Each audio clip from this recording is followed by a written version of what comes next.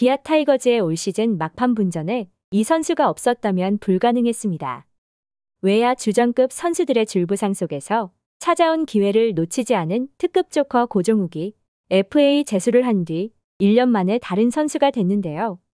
고종욱은 올해 114경기에서 타율 2할 9푼 6리 3홈런 39타점, OPS 0.722의 성적을 기록했고 특히 득점권 타율 3할 4푼 6리 37타점 OPS 0.874의 성적으로 해결사 역할을 톡톡히 해냈습니다. 더불어 대타로 등장해서도 타율 2할 9푼 5리로 활약하면서 특급 조커로서 올 시즌을 보냈습니다. 나성범, 최영우 등 핵심 외야수들이 빠지면서 생긴 공백에 고종욱이 들어갔지만 외야수로서 수비 능력은 다소 아쉬움이 남았고 고종욱의 타격 기술과 재능을 완전히 배제하기는 힘들었는데요.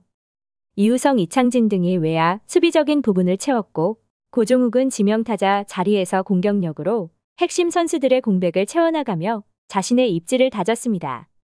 사실 지난해 FA 자격을 취득한 고종욱은 올해와는 다른 이치였습니다. 2021 시즌이 끝나고 SSG에서 방출된 이후 기아에서 손을 내밀며 62경기에 나서며 타율 2할 8푼 3리에 그쳤습니다.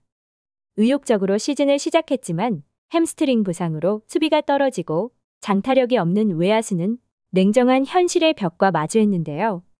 결국 FA 신청을 보류하고 재수를 선택하며 기아와 1년 7천만 원의 연봉 계약을 맺었습니다. 결과적으로 FA 재수는 대성공으로 다시금 자격을 얻은 고종욱은 이번에는 당당하게 FA 권리를 행사했습니다. 무엇보다 고종욱은 보상에 제약이 없는 C등급 FA 매물로 지난해도 C등급이었지만 평가와 대우는 천지 차이인데요. C등급 FA를 타 구단이 영입할 경우 원소속 구단에 직전에 연봉의 150%를 보상금으로 건네야 하는데 고종욱의 보상금은 고작 1억 500만 원에 불과합니다.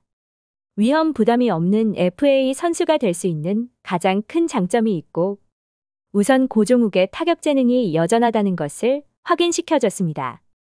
수비 포지션에서 제약은 있지만 타격 능력은 물론 빠른 발을 활용한 주루 능력도 여전하기에 좌타 대타 자원이나 지명타자 자리에서 공격을 강화하고 싶다면 고종욱이라는 카드는 매력적으로 다가올 수밖에 없습니다.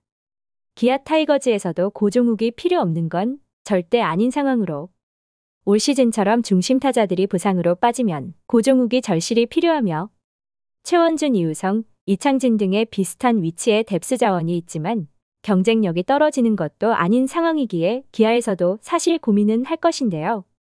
또한 염경엽 감독의 원조 양아들로 히어로즈 시절부터 중용한 외야수로 SK 시절에도 고종욱에 대한 애정을 드러낸 바 있습니다. 여기에 더해 하나에서도 안치홍 이후 추가 영입을 타진하고 있는데 현재 FA 최대어로 꼽히는 양석환의 영입이 불가할 경우 대비책으로 고종욱을 찾아볼 수도 있습니다.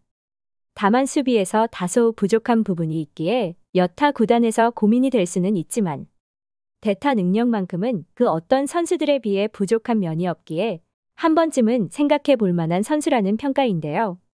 과연 기아 타이거즈에서 고종욱의 잔류를 만들어낼지 아니면 C등급의 타격 천재에 이적이 있게 될지 스토브리그는 뜨거워지고 있습니다. 시청해주셔서 감사합니다.